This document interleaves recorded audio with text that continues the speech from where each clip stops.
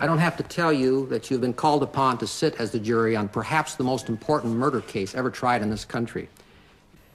In any political assassination, ladies and gentlemen, almost as inevitably as death and taxes, there is always a chorus of critics screaming the word conspiracy before the fatal bullet has even come to rest. The evidence that will be presented at this trial will show that there is no substance to the persistent charge by these critics that Lee Harvey Oswald was just a patsy set up to take the fall by some uh, elaborate conspiracy. We expect the evidence, all of the evidence, to show that Lee Harvey Oswald, acting alone, was responsible for the assassination of John F. Kennedy.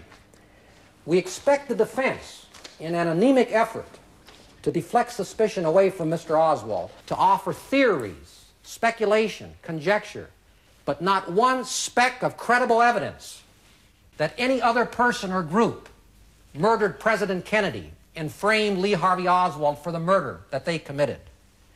As this trial unfolds, you will see how utterly preposterous the allegation of a frame up is. The evidence of this trial will produce a, a, a, vivid and a rather stark psychological portrait of Oswald as a deeply disturbed and maladjusted man. It will show him to be a fanatical Marxist who restlessly searched for a country to embody the Marxist dream. The evidence will show that on the morning of the assassination, November the 22nd, 1963, Oswald carried his weapon, a 6.5 millimeter Mannlicher Carcano rifle, into his place of employment at the Texas School Book Depository building. The presidential motorcade was scheduled to pass right in front of that building that very noon. At 12:30 p.m., as the president's limousine drove slowly by, three shots rang out from the southeasternmost window on the sixth floor of that building. One of which penetrated President Kennedy's upper right back, exited the front of his throat. Another entering the right rear of his head and exiting and shattering the right frontal area of his head. As the presidential limousine screeched away to Parkland Memorial Hospital, where he was pronounced dead, the president, his lifeblood gushing from his body, lay mortally wounded in his wife mm-hmm. Jacqueline's lap.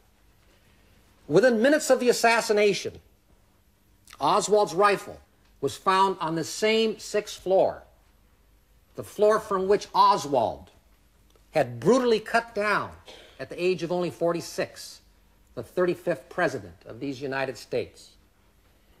The evidence will show that Oswald's rifle, to the exclusion of all other weapons, was determined by firearms experts to be the rifle that fired the two bullets that struck down President Kennedy.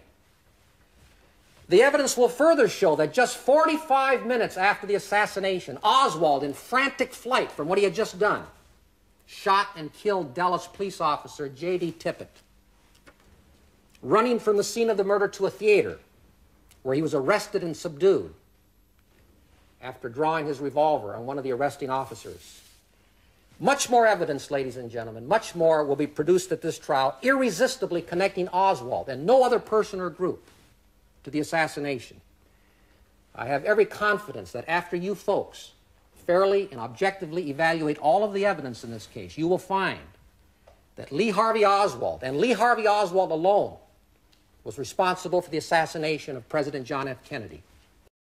I a note here which reads as follows Your Honor, we have reached a unanimous verdict dated November 22, 1986, signed Jack Morgan, foreperson. Mr. Morgan, have you reached a verdict? We have, Your Honor. If you would, please, if you'd just hand it to the marshal. You may be seated.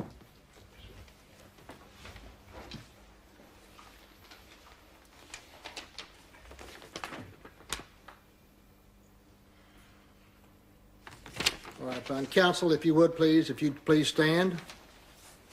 I'll ask Mr. Nelson if he would to please read the verdict. Verdict. We, the jury, find the defendant Lee Harvey Oswald guilty of the offense charged in one of the indictment.